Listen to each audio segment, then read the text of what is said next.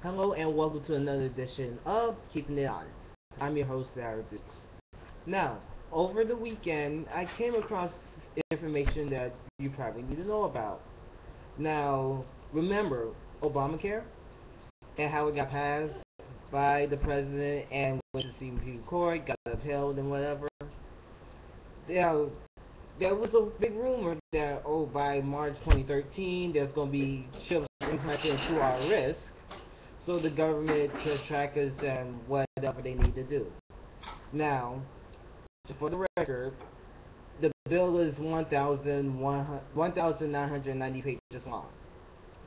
Now, nobody's not going to sit to read through 1,990 pages. So, I got two mostly good important facts from the bill, which I have here. And it basically said this. Page 50 in Section 2, the bill will provide, the bill, Obamacare, will provide insurance to U.S. residents even if they are not here illegally. And on page 58, Section 59, that the government will have real-time access to any individual's bank and will have the authority to make electronic rulings. Now, it says nowhere in the two facts I just found in Obamacare, nowhere it says that, oh, we're going to implant a chip into your wrist to track you and monitor you like some type of slave. So if you're thinking that something like that's going to happen, it's not.